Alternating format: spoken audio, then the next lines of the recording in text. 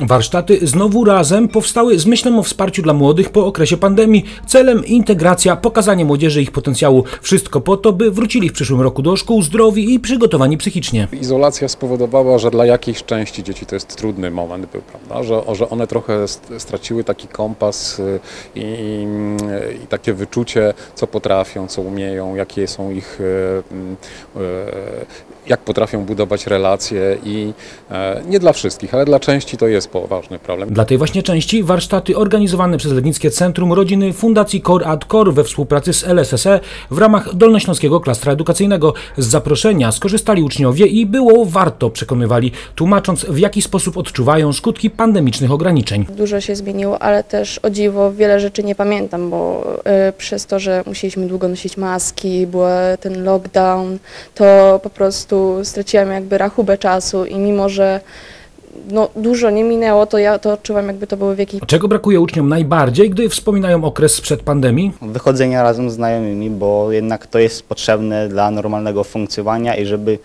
człowiek też y, pozytywnie, y, pozytyw- pozytywnie był nastawiony na życie. By poprawić samopoczucie i przygotować na powrót do szkolnej normalności uczniowie spędzili na warsztatach kilka godzin. Teraz mają na to całe wakacje, oby we wrześniu przyszedł czas na próbę generalną.